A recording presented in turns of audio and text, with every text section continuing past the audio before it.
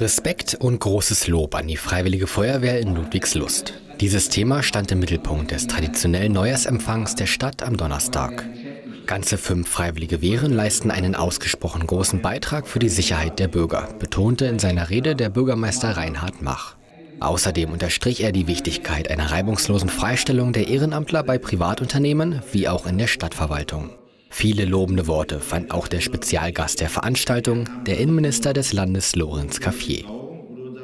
Ich bin stolz auf die Frauen und Männer, die bereit sind, in schwierigen Situationen, unabhängig ob Heiligabend, Silvester oder was auch immer ist, für andere da zu sein. Und deswegen glaube ich auch ein Stück Selbstverständlichkeit, dass man als Kommunalminister, als Katastrophenschutzminister, als Innenminister auch versucht, äh, Danke zu sagen. Einfach nochmal Danke dafür, dass ihr bereit seid, für andere Verantwortung zu übernehmen. Wir haben fünf Feuerwehren in unserer Stadt, die sehr engagiert äh, unterwegs sind, äh, im Ehrenamt äh, für die Gemeinde tätig zu sein. Und da sind wir sehr stolz drauf.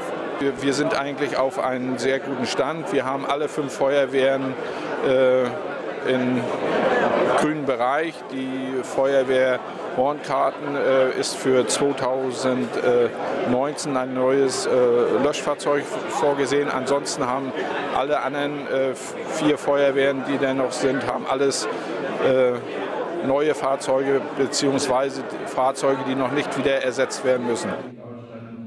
Auch für 2017 sicherte Lorenz Caffier den Freiwilligen Wehren und dem Katastrophenschutz in Ludwigslust sowie im ganzen Land eine vielseitige Unterstützung zu.